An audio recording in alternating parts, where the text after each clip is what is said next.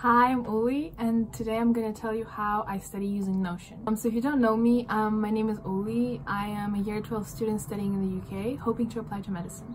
So in the very first video, I mentioned that I think that taking notes has a very small productivity density, which I still think, but I didn't explain how I do notes because I, I still do them because I think it's not really wise, in my opinion, to rely just on the PowerPoints that my teachers supply. And there's quite a lot of extra information that teachers give out that I don't particularly need, so I do still make notes, and I'm gonna tell you how. Also, I will, as always, leave timestamps below if you want to skip over certain parts. So if you don't know, Notion is an amazing app that is completely free for personal use, and it is an app that I use to organize anything and everything in my life.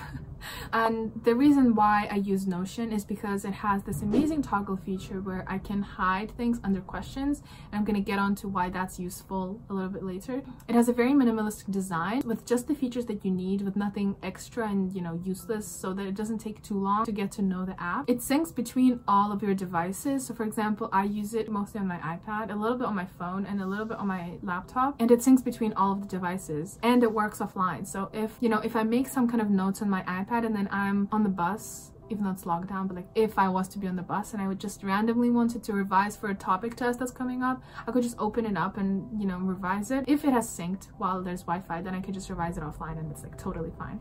And finally, it's the ability to highlight because, you know, highlighting is quite important. I'm gonna get onto why a little bit later as well. You can import pictures and you can hide the pictures under these toggles that I talked about just now, and you can use tables. And before I get onto how I actually make notes with Notion, I want to talk about two things called active recall recall and spaced repetition. And these are the two things that I use when I study with Notion. So active recall, if you haven't heard, is basically recalling information and learning it actively and learning, practicing to retrieve it from your brain rather than just passively reading over notes. And in my opinion is more, well, it's not my opinion, it's scientifically proven that it's more effective than passive learning. And if you think about it, in an exam, you actually have to recall the information. So if you don't practice recalling the information, it can be quite hard to use it if you haven't practiced. So for example, I like tennis.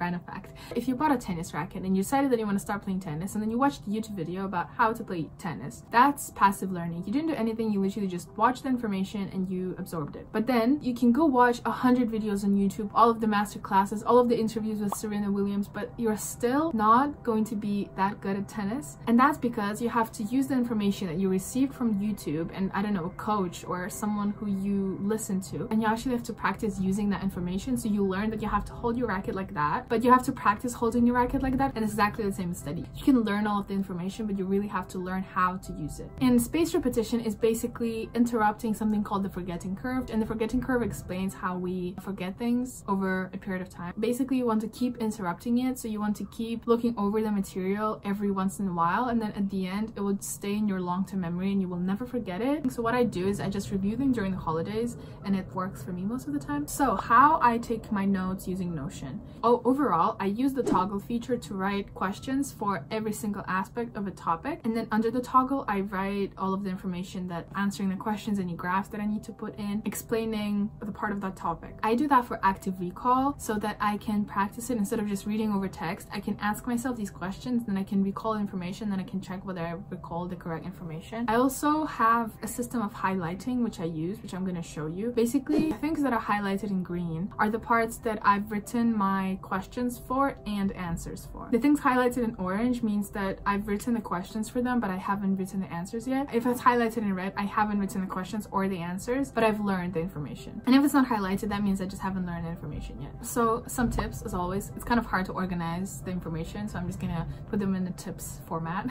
so first of all, and the one that I feel really strongly about and think that everyone should use is use your specification for a subject, particularly if you're doing something like sciences or psychology or history or geography in fact, the spec is so important. You can get it for free on the website of the exam board that you're doing. And organize your notes based on a specification, not based on a textbook or the way your teachers give it to you, base it on the specification. Because different textbooks organize information in different ways. And the only 100% reliable method is the specification. Because the exam board does not have the right to ask you about something that's not on the spec. If it's not in the spec, it is never going to be asked in any of the questions. So it's really important to make sure that your spec is exam board specific so that you know exactly what you need need and don't need to know. And actually a good example of that is like the other day we were learning about mass in physics I have a great physics teacher, but he's really passionate about the things that he's doing. And he was talking about why we can travel at the speed of light and why light can travel at the speed of light and what property would a material have to have in order to be able to travel at the speed of light. And I don't need to know any of that. All I need to know is what the difference between mass and weight and how is ma mass related to force.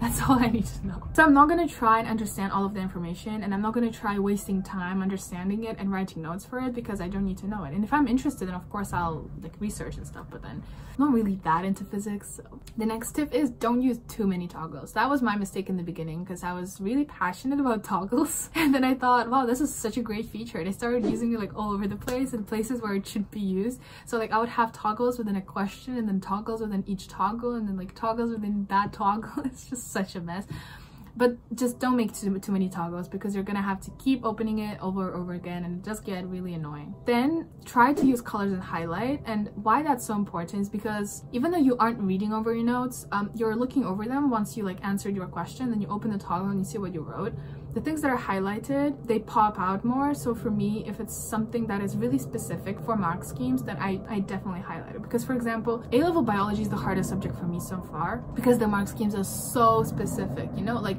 you can't say across concentration gradient you have to say down. Like it's things like that that every single word matters. I will highlight the word down the concentration gradient because down is so important. And, and unless you say down you're just not going to get the mark. So I'm going to highlight down so that when I review the information, I'm gonna know that it's it's down, definitely. I also use this call out feature, which really helps things stand, stand out, but it, it does look quite bulky sometimes. So I mostly use it for webinars, books, podcasts, and I use it to summarize the whole thing that I just listened to or read in one sentence. So like what is the one main point of this book or this webinar or this video or this podcast? And then later it helps me come back to the information and think, oh, is this like is this helpful? The next tip is really learn the shortcuts for your software that you're using. So for example, if you use the arrow thing that it automatically makes it a toggle and that's really how you minimize the amount of time that you're spent studying because instead of having to go like you pay this, this, this, this, this, you can just quickly use the keyboard shortcut. The next tip is try typing up the notes as soon as you can because for me, if I don't do the notes straight after the lesson or like the day after the lesson, I'm just never gonna do it. And the thing is, like, keeps piling up all of the things that you have to do your notes for. And then it comes to mocks or even like real exams and you're just like, I don't have the notes for this section of physics.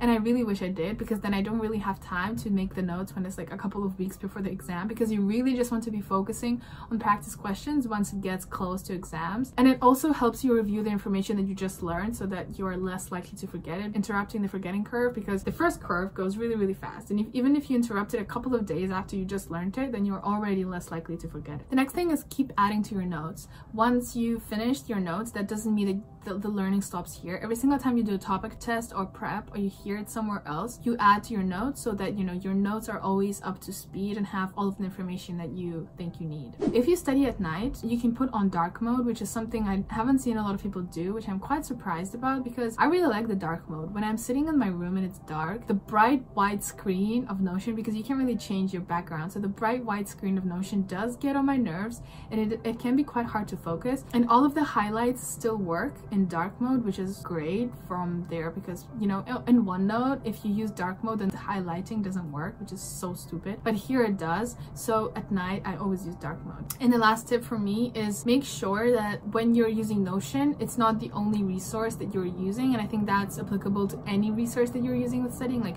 if you're only using practice questions, then you will find it quite hard learning all of the information because practice questions tend to focus on certain things and ignore others. So it's really important to have other sources of studying. For me, it's Notion, practice questions. I re I watch YouTube videos because when I'm when I can't be bothered to study, like watching recap YouTube videos helps a lot and it's teaching other people. Like I actually love when my friends ask me, oh, can you please explain this to me? Because it helps me retrieve the information and explain it in a simple way. But I'm still a believer that, you know, exam technique is the best way that you can study. But I, I'm not saying that it should be the only way for you to study. You should prioritize exam technique. But if you haven't learned the information and understood the information yet, then it's kind of pointless trying to do the exam questions because you're just gonna get all of them wrong. Um, so that's the end of the video. I hope you found it useful. You used to have to pay quite a lot of money for it, but then as of like 2019, it became free for like personal use. But okay, a short disclaimer again, it does take quite a while to get used to it and it does take quite a while to transfer all of your information to it because for me, it took me like two months to get to know the perks and how everything works and like actually get used to the app. But now that I am used to it, I literally do everything on here. I don't even use Word anymore. So you should really try it out and let me know if you want to see a tour of everything else on Notion because studying is just a really,